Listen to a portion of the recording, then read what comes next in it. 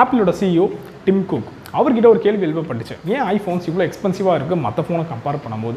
அப்போ அவர் அதுக்கு சொன்ன பதில் என்னன்னா ஐஃபோன்ஸில் உங்களுக்கு தேவையான எல்லா விஷயமே இருக்குது அதாவது நீங்கள் செப்பரேட்டாக வாங்க தேவையில்லாத விஷயம் எல்லாமே இதுலேயே இருக்குது ஸோ நீங்கள் செப்பரேட்டாக digital camera video camera music player போன்ற விஷயம் எல்லாமே நீங்கள் வாங்க தேவையில்ல. இது எல்லாமே உங்களுக்கு தேவையான விஷயம் எல்லாமே இனோவேட்டிவாக ஒரே கேஜெட்டில் இருக்குது ஸோ இதை செய்கிறது அவ்வளோ சீப்பான விஷயம் கிடையாது. ஸோ அதனால் எக்ஸ்பென்சிவாக இருக்குது அப்படின்னு சொல்லியிருந்தார்.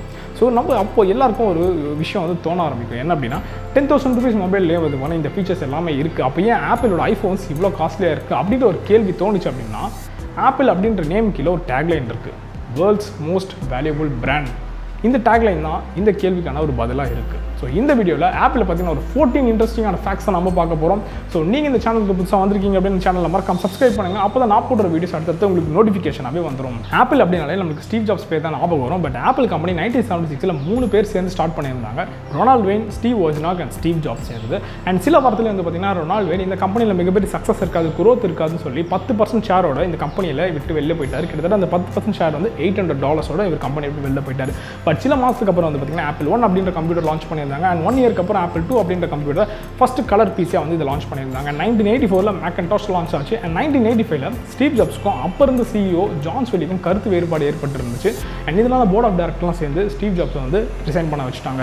ஸ்டீவ் ஜாப்ஸும் ரிசைன் பண்ணி இன்னொரு கம்பெனி நெக்ஸ்ட் அப்படின்னு சொல்லிட்டு ஒரு கம்பெனி ஸ்டார்ட் பண்ணார். அண்ட் அங்கே வந்து பார்த்தீங்கன்னா கம்ப்யூட்டருக்கான சாஃப்ட்வேர் வாய்ஸஸ்லாம் ரெடி பண்ணிட்டு இருந்தார். அதாவது நெக்ஸ்ட் ஸ்டெப் ஓப்பன் ஸ்டெப் போன்ற சாஃப்ட்வேர்ஸ்லாம் ரெடி பண்ணிட்டு இருந்தார். மிகப்பெரிய சக்ஸஸ் இருந்துச்சு அந்த கம்பெனியில் ஸோ இதை ஆப்பிள் பார்த்துட்டு இருந்தாங்க. ஓகே நெக்ஸ்ட் நம்ம வாங்கிக்கலாம் அப்படின்னு சொல்லிட்டு நைன்டீன் நைன்டி சிக்ஸில் ஆப்பிள் நெக்ஸ்ட்டாக வாங்கினாங்க. ஸோ ஸ்டீவ் ஜாப்ஸ் மறுபடியும் ஆப்பிள்குள்ளே என்டர் ஆனார். அண்ட் அதுக்கப்புறம் iMac G three and Mac OS X iPod ஐ டியூன்ஸ்னு சொல்லிட்டு எல்லாமே வரிசையாக லான்ச் ஆச்சு. இதில் ஐபாட் மிகப்பெரிய சக்ஸஸ் கிடச்சிச்சு. அண்ட் அதுக்கப்புறம் Apple company dot INC Apple dot ஐஎன்சியாக மாறிச்சு. அண்ட் டூ தௌசண்ட் செவனில் ஐஃபோனை லான்ச் பண்ணியிருந்தாங்க. வேர்ல்ட்ஸ் மோஸ்ட் வேல்யூபிள் பிராண்டான்ற பேரும் அவங்களுக்கு கிடச்சிச்சு. கொஞ்சம் ரீவைண்ட் பண்ணலாம். சில வாரத்திலே வந்து கம்பெனி ஸ்டார்ட் ஆன சில வாரத்தில் ரொனால்டோயின் பத்து பர்சன்ட் ஷேர் அதாவது எயிட் ஹண்ட்ரட் யூஎஸ் டாலர்ஸோட இந்த கம்பெனி விட்டு வெளில போயிருந்தார். ஒருவேளை அந்த பத்து பர்சன்ட் ஷேரோட அவர் கம்பெனி விட்டு வெளியில் போகாமல் இன்னி இருந்தார்னா இருந்தாருன்னா அதோட மதிப்பு எவ்வளோ தெரியுமா?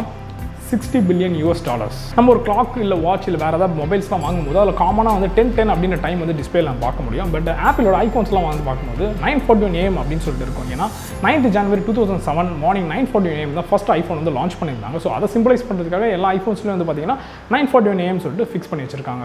ஆப்பிள் அப்படின்ற பேருக்கும் அதோட லோகோக்கும் மிகப்பெரிய ஒரு கிரேஸ் முக்கியமான காரணம்னா அதோட சிம்பிளிசிட்டி தான். அண்ட் ஆப்பிளோட லோகோ வந்து பார்த்தீங்கன்னா இனிஷியல் ஸ்டேஜில் எப்படி இருந்துச்சுன்னா ஐசக் நியூட்டன் ஒரு ஆப்பிள் மரத்துக்கு உட்காந்துருக்க மாதிரி இருக்கும். ஸோ அதை சின்ன சைஸில் பிரிண்ட் பண்ணும்போது அதை ரெகனைஸ் பண்ண முடியாமல் இருந்துச்சு. ஸோ அதனால் அந்த லோகோவை மாற்றணும்னு நினச்சாங்க.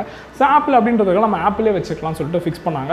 பட் ஆப்பிளே வந்து பார்த்தீங்கன்னா சின்ன சைஸில் வந்து பார்க்கும்போது அது ஆப்பிள் செரி கிரேப்னு சொல்லிட்டு வித்தியாசம் தெரியாமல் இருந்துச்சு. ஸோ அதனால் அதையுமே அவங்க ரீஒர்க் பண்ணி இப்போ நம்ம பார்க்கக்கூடிய ஆப்பிள் லோகோவா அது ஒரு மாதிரி இருக்குது ஆப்பிள் கம்பெனி இனிஷியல் டைமில் ஒரு ஸ்டார்ட் அப் ஸோ அந்த ஸ்டார்ட் அப்புக்கு இன்வெஸ்ட்மெண்ட் தேவைப்பட்டிருக்கும். ஸோ அந்த இன்வெஸ்ட்மெண்ட்டுக்காக ஸ்டீவ் ஜாப்ஸ் அவரோட போக்ஸ் வாகன் மைக்ரோ பஸ்ஸை வித்திருக்காரு. அண்ட் ஸ்டீவ் ஓஜனாக் அவர் யூஸ் பண்ணிட்டு இருந்த சயின்டிஃபிக் கால்குலேட்டர் விற்றுருக்காரு ஒரு சயின்டிஃபிக் கால்குலேட்டர் அந்த டைமில் ஒர்க்ஸ் வாகன் மைக்ரோ பக்ஸை விட காஸ்ட்லியராக இருந்திருக்கு. அண்ட் இப்போ அந்த கால்குலேட்டரோட மதிப்பு ரெண்டாயிரம் டாலர்ஸ் நைன்டீன் எயிட்டி ஒனில் ஆப்பிள் எம்ப்ளாயாக இருந்த பில் அட்கின்சன் ஒரு மேக்கன்டாஷில் ஓவல் சர்க்கிள் மாதிரி வரைகிற மாதிரி ஒரு புது அல்காரத்தோட வந்தார். பட் இதை பார்த்து ஸ்டீவ் ஜாப்ஸ் பெருசாக இம்ப்ரெஸ் ஆகல. ஸ்டீவ் ஜாப்ஸ் கேட்டது என்ன அப்படின்னா எனக்கு வந்து ரெக்டாங்கிள் வரையணும் பட் அதில் ரவுண்டட் கார்னர்ஸ் இருக்குன்னு சொல்லிட்டு. அப்போ பில் சொன்னது இல்லை இது இம்பாசிபிளான விஷயம் இதை பண்ண முடியாதுன்னு சொல்லிட்டு. பட் ஸ்டீவ் ஜாப்ஸ் இன்சிஸ்ட் பண்ணி ஒரு ட்ரை பண்ணலாம் இந்த ஒரு அல்காரத்தம் கொண்டு வரதுக்கு அப்படின்னு சொல்லியிருந்தார். பட் பில்லும் வந்து பார்த்தீங்கன்னா அதுக்கேற்ற மாதிரி ட்ரை பண்ணார். ஒரு புது அல்காரத்தோட வந்தார். அண்ட் அதே மாதிரி ரெக்டாங்கிள் ரவுண்டட் கார்னர்ஸ்லையும் வரைய முடிஞ்சிச்சு. ரவுண்ட் ரேக்ஸ் நம்ம மொபைலில் வேரியஸ் லாக்ஸ் இருக்குது அதாவது பாஸ்வேர்டு போட்டுப்போம் அண்ட் பேட்டர்ன் லாக்ஸ் இருக்குது finger print slide to unlock இருக்குது அண்ட் ஃபேஷியல் லாக்ஸ் எல்லாமே இருக்குது பட் இதில் வந்து பார்த்தீங்கன்னா குறிப்பாக ஸ்லைட் டு அன்லாக் அப்படின்ற ஃபீச்சர் வந்து பார்த்தீங்கன்னா அதோட பேட்டர்ன் ஆப்பிளோட நான் ஆப்பிள் கம்பெனி மட்டும் தான் யூஸ் பண்ணுவேன் அப்படின்னு இருந்தீங்கன்னா ஒருவேளை நீங்கள் ஐபேட் யூஸ் பண்ணிட்டு இருந்தீங்கன்னா அதில் ஒரு சின்ன சேஞ்ச் இருக்குது என்ன அப்படின்னா ஐபேடோட ரெட்டினா டிஸ்பிளே மேனுஃபேக்சர் பண்ணுறது சாம்சங் கம்பெனி யாராச்சும் உங்ககிட்ட வந்து ஆப்பிள் ப்ராடக்ட்ஸில் உங்கள் உயிரை கூட காப்பாற்ற முடியும் அப்படின்னு சொன்னாங்கன்னா இதில் எத்தனை பேர் நம்ப முடியும்னு தெரியல பட் அதில் சின்ன உண்மையாக இருக்குது ஏன்னா ஆப்பிளோட மேக் புக்கோட பேட்டரி ஒரு புல்லட் ப்ரூஃப்னு சொல்லப்படும். ஆப்பிள் வந்து உலகத்திலே மிகப்பெரிய லார்ஜஸ்ட் டெக்னாலஜிக்கல் கம்பெனி ரெவன்யூ வைஸில் ஸோ அதனால் ஆப்பிள் ஷாப்பிங் பண்ணணும்னு முடிவு பண்ணிட்டாங்கன்னா அவங்களால டாப் ஃபைவ் ஹண்ட்ரட் கம்பெனிஸில் எயிட்டி பர்சன்ட் ஆஃப் த கம்பெனிஸை வாங்கவே முடியுமா? அதாவது அதில் ரொம்ப குறிப்பாக வந்து பார்த்தீங்கன்னா நெட்ஃப்ளிக்ஸ் ட்விட்டர் டெஸ்லா போன்ற கம்பெனிலாம் அவங்களால பர்ச்சேஸ் பண்ண முடியும். இன்ஃபேக்ட் ஃபேஸ்புக்கை கூட அவங்களால வாங்க முடியும் ஐஃபோன் டூ தௌசண்ட் செவனில் தான் லான்ச் ஆச்சு. பட் அதுக்கான ப்ராஜெக்ட் வந்து பார்த்தீங்கன்னா டூ தௌசண்ட் ஃபைவ்லேருந்து ஸ்டார்ட் பண்ணியிருந்தாங்க. இன்ஃபேக்ட் வந்து அந்த ப்ராஜெக்ட் ரொம்ப சீக்ரெட் ப்ராஜெக்டாக தான் பண்ணியிருக்காங்க.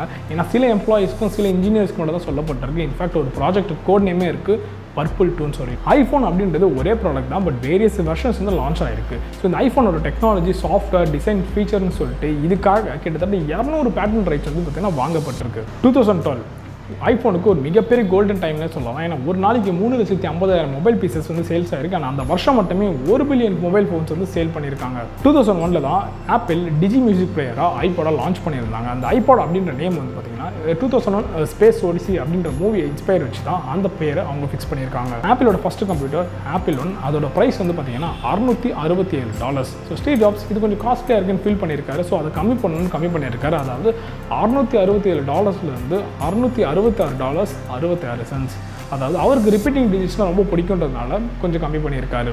அதாவது இப்போ மட்டும் கிடையாது இனிஷியல் ஸ்டேஜில் ஆப்பிள் வந்து ஒரு எக்ஸ்பென்சிவ் ப்ராடக்டாக தான் இருந்திருக்கு. ஸோ அவ்வளோதான் இந்த ஃபோர்டின் ஃபேக்ஸ் உங்களுக்கு பிடிச்சிருக்கேன் நான் நம்புறேன். ஸோ உங்களுக்கு பிடிச்சிருந்தா லைக் பண்ணுங்கள் ஷேர் பண்ணுங்கள் இதே மாதிரி அடுத்த வீடியோவில் வேறு ஒரு கண்டனோட நான் உங்களை வந்து மீட் பண்ணுறேன்